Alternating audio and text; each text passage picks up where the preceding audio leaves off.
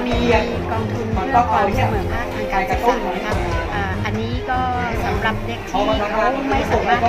เรียนเข้าไปไปไปคืออาจจะเขาอาจจะไม่มีความพร้อมในการที่เขาเข้าไปเรียนนะไม่ว่าจะเรื่องของการเรียนในโรงเรียนประจำหรือว่า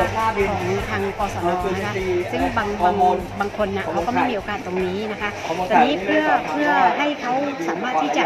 มีความรู้แล้วก็มีอาชีพที่จะไปดำรงอาชีพได้นะคะโดยที่ไม่ไม่ไม่ปิดโอกาสตรงนี้นะคะแล้วก็เรียกว่า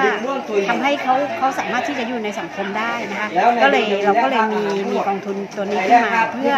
เพื่อที่จะให้เขาได้เรียนรู้แล้วก็นำเอาแต่ถ้าตัวนี้เป็นกระตุ้นออกมาการทำงานทั้งหมดผลจากการที่เขาได้เรียนรู้เนี่ยนะคะอ่าเอาไป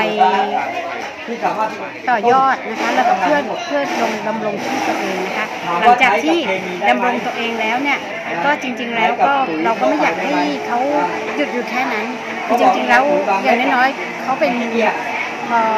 เขาอยู่ในสังคมแล้วเนี่ยอย่างน้อยๆเรื่องของการมีความรู้อ่านออกเขียนได้เนี่ยควรจะมีก็อยากให้เขาเข้ามาสู่ในระบบด้วยตรงนี้ที่เรามองเพราะว่าอย่างน้อยๆคนเราเนี่ยถ้าถึงจะมีอาชีพแล้วมีหน้าที่การงานแล้ว แต่ถ้าไม่สามารถอ่านออกเขียนได้เนี่ยการที่จะเข้าไปเรียนรู้ในโลกโซเชียลอะไรต่างๆซึ่งตอนนี้มันมันมีความจำเป็นนะคะก็อยากอยากให้ตรงนี้ให้ให้เขาเข้าไปด้วย